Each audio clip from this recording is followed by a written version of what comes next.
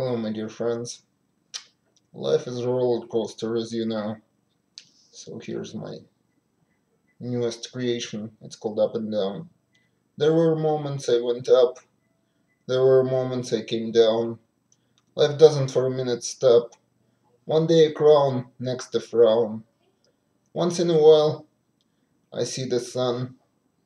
It lights my tender, fragile soul.